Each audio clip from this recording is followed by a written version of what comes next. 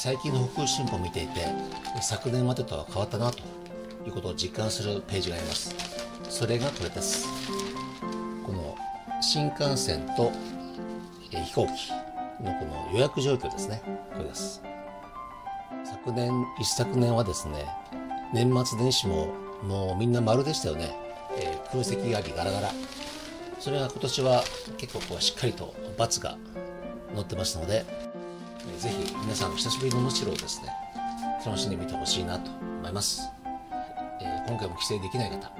あるいは若干の帰省の事業をずらしている方は、えー、ぜひちょっと見ていただいて2022年の能代 TV 振り返りです。今年の能代 TV YouTube 配信の、えー、人気ベスト10反響が多かったやつですね。反響。あのいろんなメールとかメッセージとかそんなことを含めてそれをリストアップすると、えー、項目でいくとこんな感じです。1位、能代市議選候補の落とし方。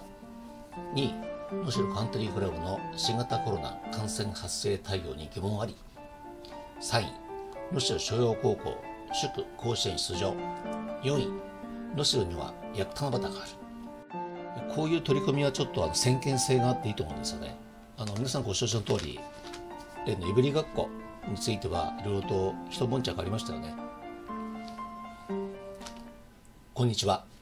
能代山本ふるさとライフの佐藤です。今日は12月の27日火曜日です。能代比較的良い天気です、えー、雪は降っていません。ただ昨夜からですね結構あの雨が降っては止んで、えー、ちょっと冷え込んで雪がちらついてまだ止んで雨が降ってなんてことを繰り返しまして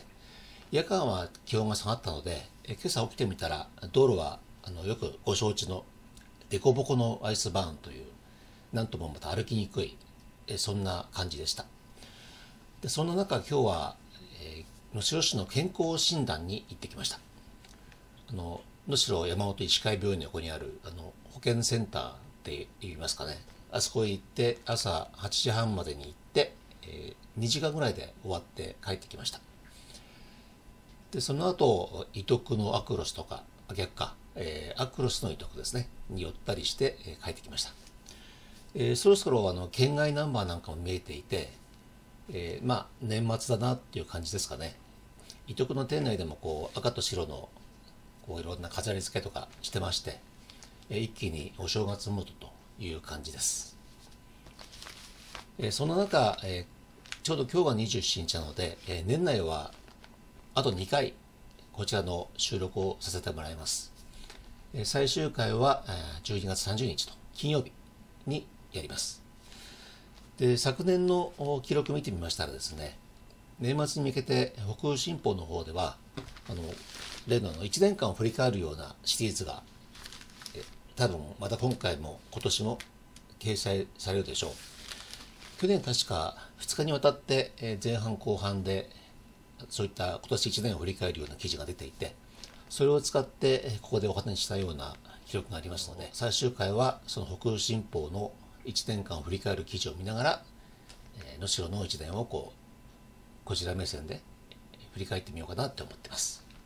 能代に帰ってきてる方はもちろん今回も帰省できない方あるいは若干の帰省の事業をずらしてる方はぜひちょっと見ていただいて、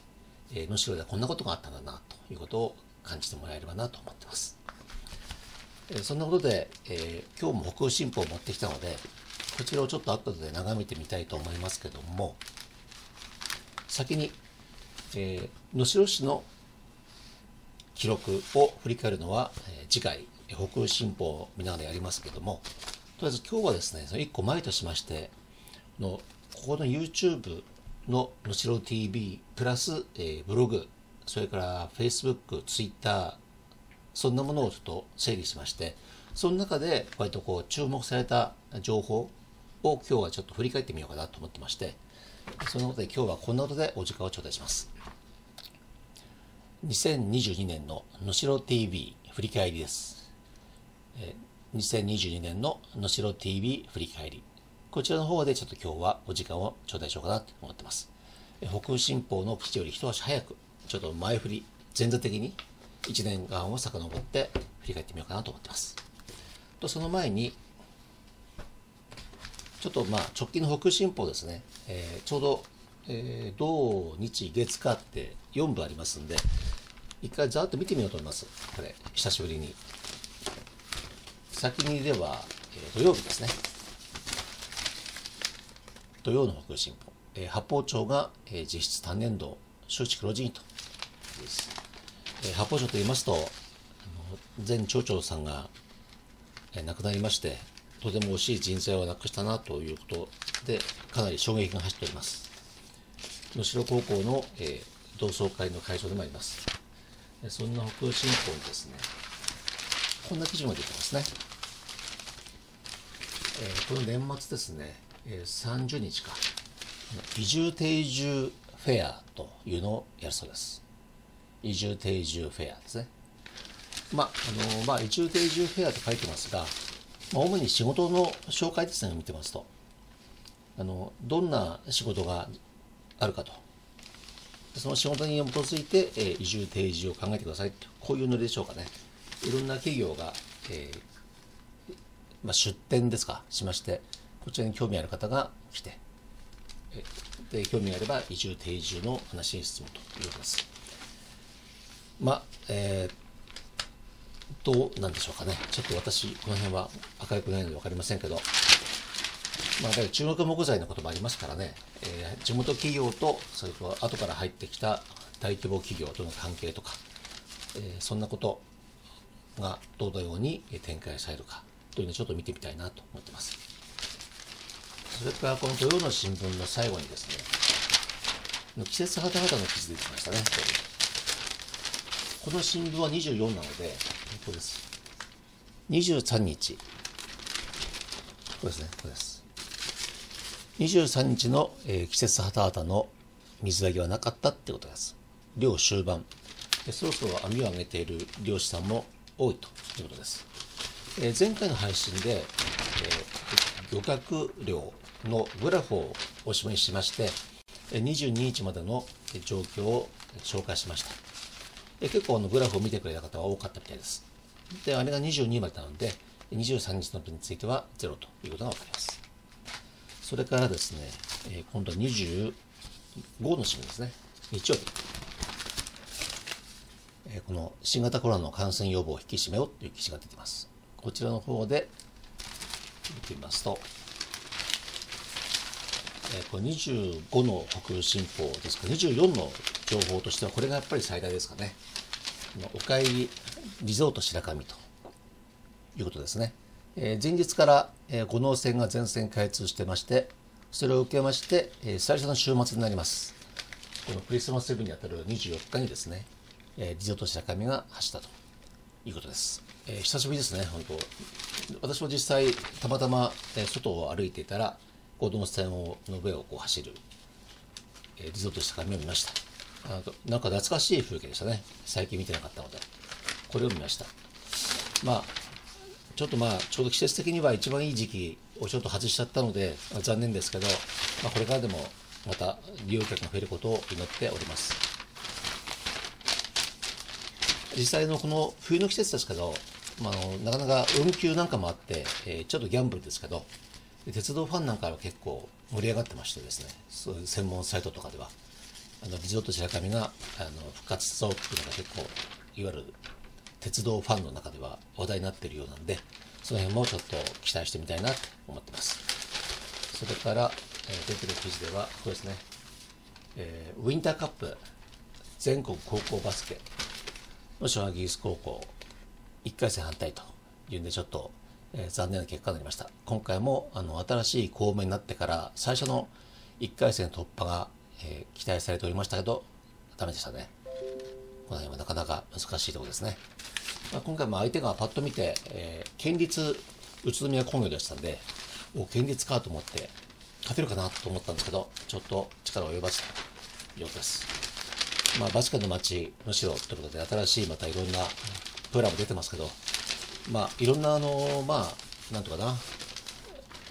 メモリーとしてのバスケの街の城っていう方向に向かう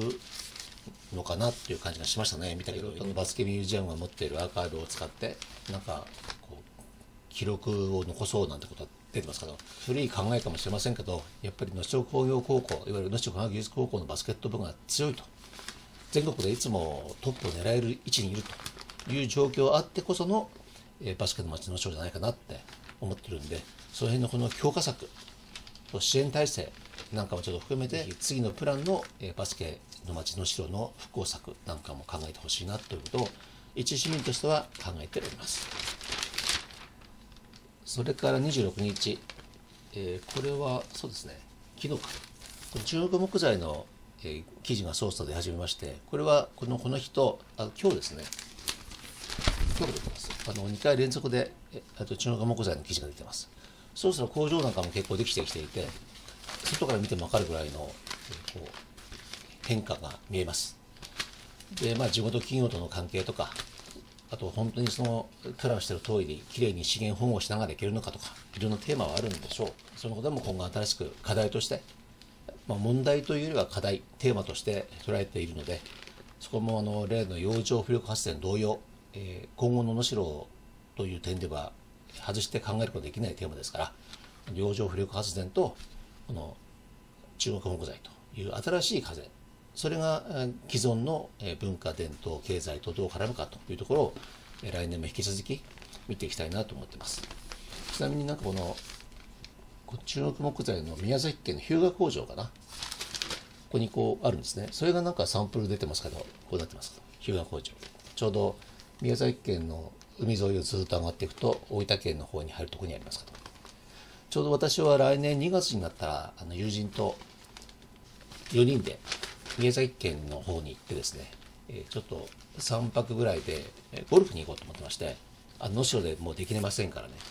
で、ゴルフに行って、宮崎県でちょっとゴルフとか、あと古い知り合いもいるので行ってみて、帰りは車でずっと北上してですね、大分空港から帰ってこうかなと。なので、その途中にまさに工場ありますのでですね、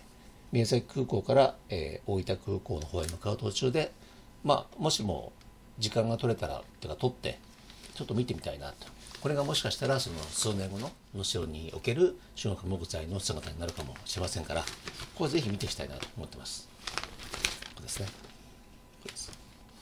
宮崎です。あと今日の新聞を見ていて、おっと思ったのはこれですね。三種町。漬物など製造支援ということで、共同加工場を作ると。熟成室が完成したって記事です。これはあのちゃんとあの基準を満たしてですね安全保健衛生上の問題をクリアしたあのちゃんとした、えー、作業場っていうかな保管所っていうかな加工所っていうかなそれを作ったってんですねこういう取り組みはちょっとあの先見性があっていいと思うんですよねあの皆さんご承知の通り例のいぶりがっこについてはいろいろと一悶着ありましたよね。いぶりがっこを作ってるのはどうしてもこうほとんど一般家庭に近いような感じで作っていますけどそこがあの例の新しい衛生基準ではアウトというんでこのままでは設備投資しないと作れないとかいう問題でそれならもう廃業したいなんて話が結構出ていて結構問題になりました。でそれに対してですねあのこういったの共同であれば投資の問題もクリアできるし、えー、こういった取り組みがそういったことにそういったことに関しては共同でこういう加工場とか保管所熟成室を作るっていうのは結構いいですよね。こう一足早く行ってますよね。先見性があると思ってこれいいなと思って見てました。まあたまたま今回はあのいぶりがっこの件で話題になったんですけど多分同じような問題は今後は出ると思いますよね。例えばパッと考えると思うのはあの今シーズンでありますハタハタ寿司とかあれもちょっと下手するとこういった衛生基準がこう伸びてきてですねまた一挙に現状ではもう作れないとかいう可能性があるので、ぜひまあ行政も手伝ってほしいんですけど、こういったこともあのぜひもう先手先手打って、え、準備してほしいというふうに思います。地元の食文化というのはこういった形で守っていかなければならないというふうに思っています。ぜひあの市の政治と行政でこういったことも応援してほしいというふうに考えたそんな記事です。これ三種町ですね。さすがの秋田県の中であの住みたい町ナンバーワンだそうですから三谷町はさすがこういうところもあの大事ですさすがこういう点もやるなという感じを率直に感じております。というわけで、え今日までの北欧新報を眺めた後で今日の本題なんですけど2022年の能代 TV 振り返りです。こちらの方へ移行させていただきます。え今回あの年末に迎えましたですね、えー、おかげさまでこの私のところのこの SNS、まあ、YouTube も含んで、まあ、ほとんどブログとかそっちの方が Facebook、Twitter の方がメインなんですけど、まあ、見た目には結構目立つのは YouTube だそうで、いろいろとたまに最近間違えてますと、見てますとか言っていただいたり、たまたま先日はあの帰省で来られた方かな、まあ、ちょっとあの、ちょっと某スーパーで私を見つけてくれて、声かけてくれたり、なんかちょっと嬉しいなという感じをしているところです。えっと、もともとは、あの、考えてみれば、今年4月に行われた能代市議会議員選挙と能代市長選挙、このために始めました。私ずっと東京の方で、えー、そういった地方選挙は、えー、投票してたんですけど、えー、能代市、能代の市長選挙と市議会議員選挙に関しては、この4月の選挙が初めての、えー、投票だったんですね、実は。なので、全く知識なくて、えー、誰に入れたらいいのかとか、そもそもどういう会派なのかも何も分からず、ただなんかなんとなく現在市長さんが、えー、4期続けてるとかですね、いうことしか知らなかったんですよ。で、たまたま一部、あの、まあ、紹介された市議会議員さんとの関係で、えー、こういったことをちょっと始めてみたんですね。もともとは自分が能代市のあの市の政治とか行政がどうなってるかというのを勉強しようと思って始めて、そのメモ書きっていうか、微暴録としてこれを始めました。なのであまりこの外に向かって説明する気はなくて、自分で分かればいいと思ってこう書いてたんですけど、なんかおかげさまでいろいろと増えましてですね、まあいろいろといろんな方が見てくださってると。で、前なんかあの市役所行ったら、市役所の人とかに言われましたね。なんか、なので、まあなかなかあの気楽に始めたんですけど、あの結構大変で、あの変なこと言えないので、え結構データ調べたりですね、いわゆるエビデンスってやつですね。エビデンスを取って、え正しいことを伝えるようにしてます。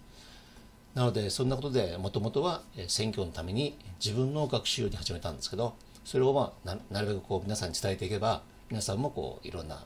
選挙の際に、まあ、前と一緒でいいやなんてことはなくて、新しい投票の行動、投票行動のためのそのデータの一つとして使ってもらえればなと思って続けております。そんなことを考えながら、えー、今回ですね、ブログ、Facebook、Twitter、YouTube の反響をですね、いろいろとこの総合的に考えしまして、えー、今年の、えー、配信テーマのベスト10というものをちょっと選んでみました。そしたらね、項目としてはこうです。順番でいくと、こんな感じです。今年のむしろ TV、YouTube 配信の、えー、人気ベスト10反響が多かったやつですね。反響。あのいろんなメールとかメッセージとかそんなことを含めて。それをリストアップすると、えー、項目でいくとこんな感じです。1位能代市議選候補の落とし方。2位能代カントリークラブの新型コロナ感染発生対応に疑問あり。3位能代所要高校祝甲子園出場。4位能代には役七夕がある。5位もう少しの章の役七夕、今年の4話か。6位、先生起きてください。7位、能代の高齢化率42.9%。8位、イオンタウンへの移設問題。議員生命をかけた投票だったと理解させていただく。9位、能代市の生活支援給付金。そして10位、参院選2022投票先の決め方。というわけで、この10個ですね。これが今年の、えー、反響の多かった、興味を持っていただいたテーマの、えー、上位ベスト10となります。えー、最初に第1位に輝きましたのはこちらです。4月1日に配信したもので、能代市議選候補の落とし方ってやつですね。誰を落とすかを決めようということで、これは私が自分のロジックで、考えたものをそのまま話したやつです。むしろ市議会議員候補の落とし方、こ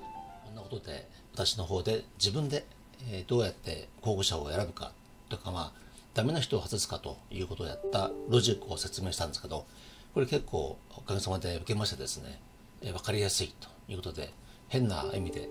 ちょっとご好評を得ました、え結果これはまあたまたまかもしれませんけど、え私はちょっとこの4人は絶対ダメだなと思った方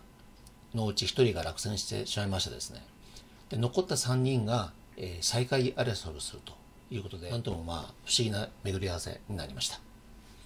そんな記憶があります。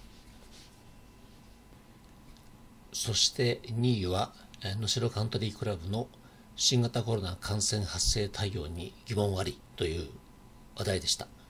こちらはあの新型コロナの感染者が出ているにもかかわらず営業を続けたということでかなり波紋を呼びました。そしてえアクセス反響も多くなりました、えこんなことで1位と2位だけを見てもですね結構ああんなこともあったななんてことを思い出すことができます。以降え3位からずっと10位までえあのリストアップしてそのえ配信日名前それから URL これを説明欄にちょっと書いておきましたんでぜひ一度ご覧いただければなと思いますそんなことを今日はご紹介してみたそういう次第ですえー、まあさっきも言ったように、えー、次回の配信では北欧新報を見ながらえ今年の能代を振り返ってみたいと思います。それに先立ちまして、今日は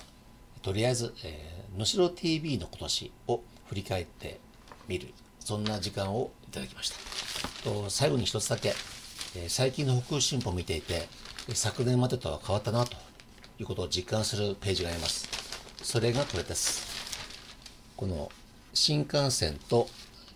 え、飛行機のこの予約状況ですね。これです。えー、罰が結構ありますよね。年末年始。これ、昨年、一昨年はですね、年末年始ももうみんな丸でしたよね。えー、空席ありガラガラ。それが今年は結構こうしっかりと罰が載ってますので、まあ、帰省する方も多いでしょう。えー、ぜひ皆さん久しぶりの能代をですね、楽しんでみてほしいなと思います。幸いまだ天気もそれほど悪くないので、動ける範囲かなと思います。そんなわけで今日はですね、えー、次回の配信となります能代市の1年を振り返る前に能代 TV の1年を振り返ってみました。いつもありがとうございます。佐藤でした。